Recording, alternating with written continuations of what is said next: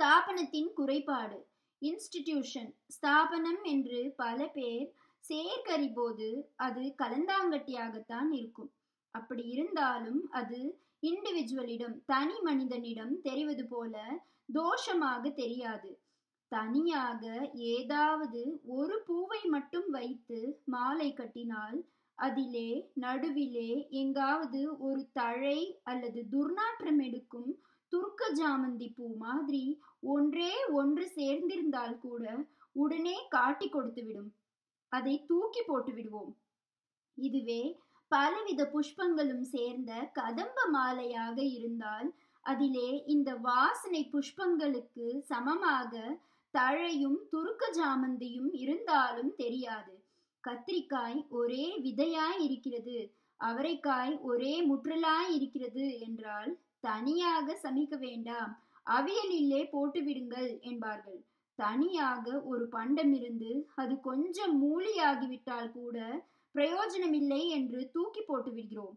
ஆனால் இந்த மாதிரி ஓட்டை உடைசல் கண்ணாடி சில்லுகள் வீணாய் போன பிளாஸ்டிக் துண்டுகள் துணி கிழிசல்கள் முதலியவற்றை வைத்தே கண்ணை கவர்கிற மாதிரி டிசைன்கள் பொம்மை தோர் முதலானதுகள் கூட பண்ணுவதாக அவ்வப்போது பேப்பரில் பார்க்கிறோம் அல்லவா இப்படித்தான் நம்மிலும் ஆகாதது போகா போகாததுகளை எல்லாம் வைத்தே ஆர்கனைசேஷன் இன்ஸ்டிடியூஷன் என்று ஏற்படுத்தி பிரமிக்க பண்ணிவிடலாம்.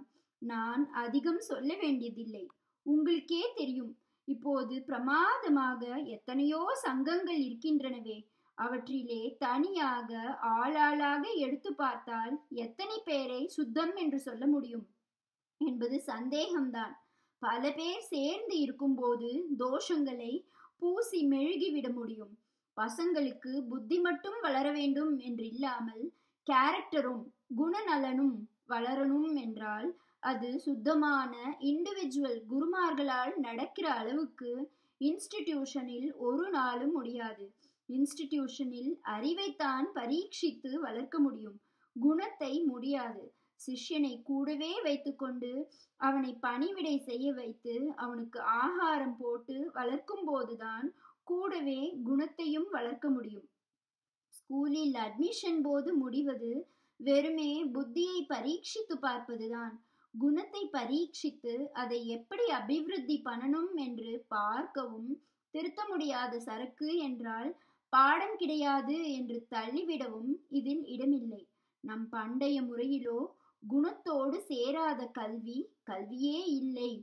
கீதையை முடிக்கும்போது பகவான் ந அத்தபஸ்காய ந அபக்தாய ந அ சுஸ்ரூஷவே என்பதாக அதாவது தீவிர தாபம் இல்லாதவனுக்கும் பக்தி இல்லாதவனுக்கும் பணிவிடை செய்யாதவனுக்கும் போதிக்கவே கூடாது என்கிறார்.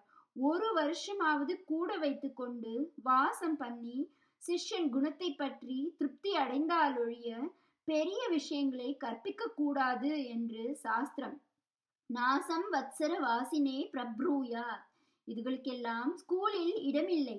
அதனாலேதான் அறிவை மட்டும் வளர்ப்பதாகவும் புத்தி சாமர்த்தியத்தை மாத்திரம் கொண்டு நல்லதற்கு இல்லாதவைகளையே தினம் தினம் விருத்தி செய்து லோகத்தை கெடுப்பதாகவும் ஏற்பட்டிருக்கிறது. ஒரு வருஷம் டெஸ்ட் பண்ணிவிட்டு பாடம் ஆரம்பிக்கணும் என்று சொன்னதில் இன்னொன்று ஞாபகம் வருகிறது. ஒரு வருஷம் ஆன பிற்பாடு பையனை திருப்பியும் அனுப்பாமல் வித்யாபியாசமும் ஆரம்பிக்காமல் படிப்புக்கு யோகியதை இல்லாவிட்டாலும் நன்றாக மாடு மாதிரி உழைக்கிறான். அதனால் வேலை வாங்கலாம் என்றே ஒரு ஆச்சாரியன் தன் கூட வைத்துக் கொள்ளலாம் அல்லவா?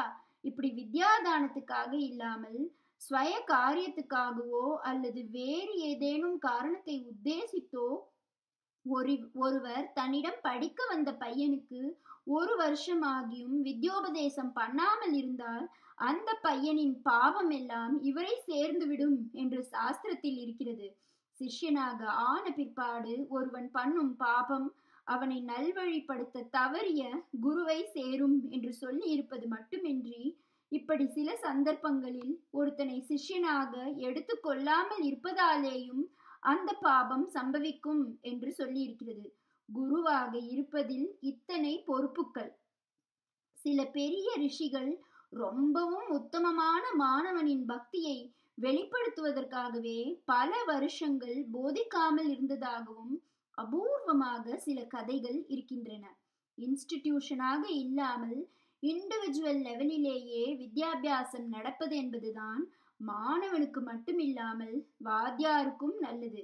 அவர் தனியாக நின்றே சோபிக்க வேண்டும் என்னும் போதுதான் அன்னை அவரை அப்பழுக்கற்றவராகி கொள்ள வேண்டும் என்பது அத்தியாவசியமாகி விடுகிறது.